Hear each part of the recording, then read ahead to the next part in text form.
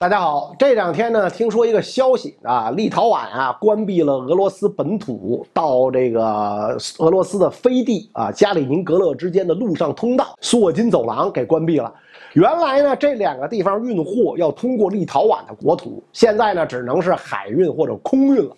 俄罗斯威胁说，如果立陶宛敢封锁，我就大军压压境。啊，也不知道他大军都都都在哪儿，可能都在乌克兰土里边埋的。那是不是变法，让那个大木手变法，变出来这个无数的天兵天将啊？就跟胡秀全似的啊，大会清妖是吧？加里宁格勒这个地方啊，在东欧，过去呢叫科尼斯堡，紧挨着波兰和立陶宛，和俄罗斯本土并不接壤。所以说呢，它是一块飞地啊，而且呢，这块地方特别有意思，它在历史上啊几经易主，当过不少次飞地。所以今儿啊，咱就来聊聊这片地区的历史。科尼斯堡啊，所属的位置呢，过去叫东普鲁士啊。这个过去啊，普鲁士是一群在当地生活的原始部落啊，他们的这个也不信仰基督教啊。一一四七年呢，教皇尤金三世发布圣谕。号召天主教国家向身边的异教徒进军。一二五五年，条顿骑士团就征服了北方不信天主教的普鲁士人，在这个占领区呢，就建了一个新的要塞。当时他们修要塞都没有钱呢，多亏了这个波西米亚国王奥托卡二世解囊相助。所以，为了表达对这个波西米亚国王的感谢，新要塞呢就被命名为这个科尼斯堡，意思呢是国王之山。啊，这些外来人跟当地民族融合起来的之后呢，也被称为普鲁士人。但是呢，他们的族群信仰跟原始的普鲁士人就已经完全不一样了，而是德意志化的信仰天主教的普鲁士人啊。有了这个科尼斯堡啊，条顿骑士团呢就在那儿建国了啊。骑士团团长呢就充任这个国家元首，跟其他头目呢一起管理全国二十个行政区，等于这个条顿骑士团啊，他作为一个这个骑士团团体，一支军队，不从属于任何政治团体，独立的建立这个国家啊。这个国家呢设计自己的制度，招募自己的百姓啊。咱们后来说普鲁士呢是个建立在军队上的国家，其实来源呢就是从条顿骑士。团这个征服普鲁士、建立科尼斯堡开始了条顿骑士团呢，在十五世纪坦能堡战役当中呢，被波兰打败啊。当时是波兰和立陶宛组成联邦，就打败了这个条顿骑士团啊。这样一来，条顿骑士团就被迫向这个波兰臣服啊。他一向这个波兰臣服啊，整个条顿骑士团就变成了波兰的附庸。那么科尼斯堡呢？就成了这个波兰国王分封出去的采邑啊，就是古代君主分封给这个臣下的这个土地，这个东西叫采邑。不管是中国呀，包括这个土耳其呀，包括欧洲国家，都实行这种，都实行过这种制度，采邑制啊。然后波兰国国王册封的那个统治者就被称为这个普鲁士公爵。是吧？所以啊，波兰说呢，这块土地是他们不可分割的这个一部分啊。其实这个事儿，我感觉就是有点扯淡啊，因为波兰从来没有管过这块土地，对吧？这块土地呢？即便是这个条顿骑士团国时期、普鲁士公国时期，它都是信仰天主教的德意志人的土地，是吧？再往前倒是原始普鲁士人的土地，跟波兰没有一毛钱关系，是吧？就是他臣服于你，你册封他，不证明这块地儿是你的。就好比说咱们啊，你比如说我们中国啊，在历史上册封朝鲜、册封越南、册封琉球，但你不能说朝鲜、越南、琉球是中国领土。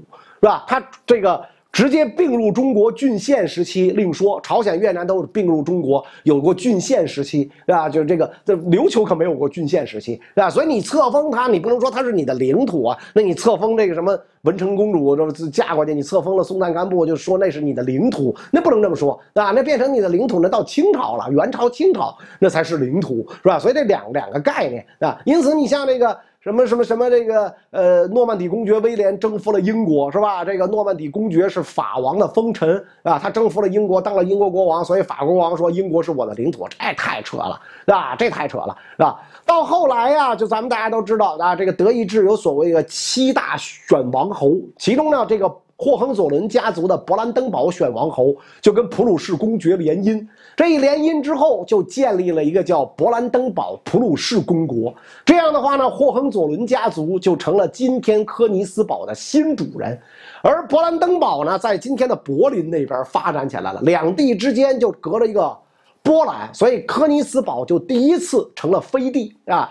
到了一七零一年呢，波兰已经不再是强大的国家了，普鲁士公国就独立了啊，就成为了王国。咱们老说这普鲁士王国呢，就是在这个时候啊，这个成立的啊。那么这个。科尼斯堡呢，就成为东普鲁士的首都啊，因为这个普鲁士王国的政体民族都是从科尼斯堡发展起来的，因此咱们说科尼斯堡是德意志民族的发源地啊，特别是霍亨佐伦王朝的发源之地啊，霍亨佐伦国王加冕都在科尼斯堡对吧？这个这个这举行加冕仪式。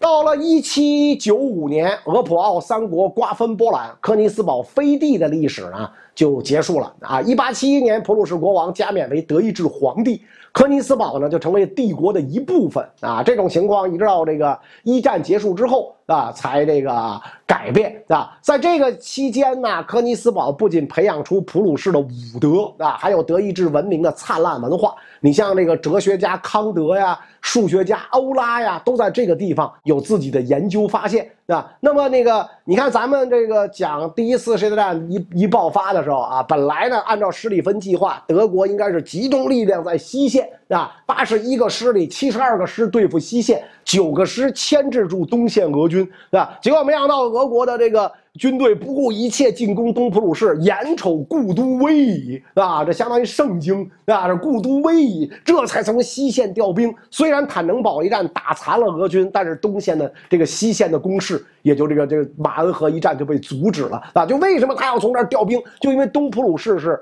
王朝兴亡之地，这绝不能丢失，绝不容有失啊！等到这个。一次是在德意志帝国战败啊，战胜国呢为了削弱德国，在东普鲁士呢这个以西画出了一条宽八十公里的波兰走廊，把东普鲁士跟德国本土分离分离了。这么一来，科尼斯堡就第二次成了飞地。二战中呢，德国吞并了波兰，希特勒呢就在东普鲁士建立狼穴，一待就待了两年多。所以你看，这施陶芬贝格暗杀希特勒，不就是东普鲁士干的吗？希特勒直到四五年才返回柏林啊。科尼斯堡啊，在二战之后就被这个苏军给占领了。啊，斯大林在德黑兰会议上就表示过要占领科尼斯堡。如愿以偿之后，苏联人对科尼斯堡就采取了这个人口置换的政策，驱逐德意志人，移民俄罗斯人啊，并且呢修建俄罗斯建筑，大力的推行俄语。在这个过程当中，一半以上的德国人逃离，其他人呢这个流放到了西伯利亚。城市在一九四六年被更名为加里宁格勒。啊，加里宁呢一直是苏联名义上的最高领袖，就最高苏维埃主席团主席，对吧？就相当于国家元首，主要呢是从事教育工作，对吧？教师是人类灵魂的工程师，就是他的名言，啊，所以他在苏联人心目中呢一直是这个慈祥爷爷的这么一个形象，跟铁腕的斯大林完全不一样。用来命名这座城市呢，能有效的软化征服感啊。那么。对，对于这个科尼斯堡，因为二战的时候也也打烂了，战后重建的时候，苏联就拆除了所有跟德意志有关的建筑，改为苏式的那种丑陋的火柴盒式的那种建筑。特别是六八年，勃列日涅夫下令，啊，在科尼斯堡城堡的原址上建立了号称为苏维埃之家的办公大楼，就州政府大楼，丑的不得了的一个大四四方方的大盒子，骨灰盒的那大楼，彻底抹去当地的德意志记忆啊！所以那个时候就是。这个经过苏联，苏联向来是要地儿不要人啊，把这个地方彻底你原来生活过的痕迹都给你抹掉啊，然后呢，完全同化，所以德国人没了，德语没了啊，这个地方就完全的俄罗斯化了。冷战的时候，科尼斯堡是波罗的海舰队基地，禁止一切外国人出入。德国在一九九零年呢。在最终解决德国问题条约当中，宣布放弃这个科尼斯堡，因为德黑兰会议德国是没签字的。自此呢，科尼斯堡在法理上是彻底属于苏联了。九一年苏联一解体，随着波罗的海三国独立啊，科尼斯堡第三次成了飞地。这个时候，俄罗斯经济凋敝，叶利钦呢就想出售这片土地来换取德国援助，但是呢，德国没接这个茬儿。为什么呢？因为东西德刚合并，东德的劳动力还无处安放。德国为了这个呃消化东德，要投。投入两万亿马克，是吧？再加上这个呃科尼斯堡几十年的苏维埃化，当地已经没有什么德国人了，你还得再同化这个地方，再给他洗一遍，这这这太费钱啊！所以呢就没接受。那自从这个二零零四年波兰立陶宛加入欧盟，想要往返俄罗斯本土和加里宁格勒的俄罗斯公民，就必须事先要取得欧盟签证。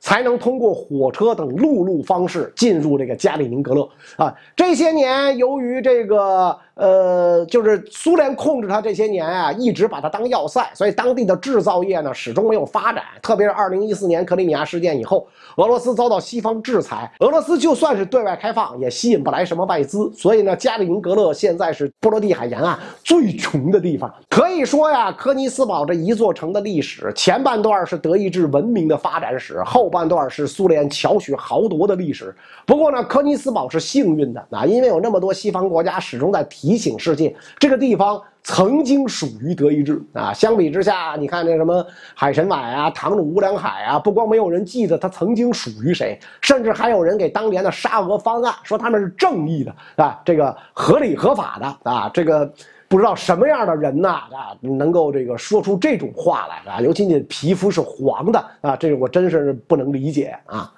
好啊，关于这个柯尼斯堡的历史啊，这个咱们今天呢就聊这么多啊。欢迎您呢订阅我的频道，加入我的会员，谢谢大家。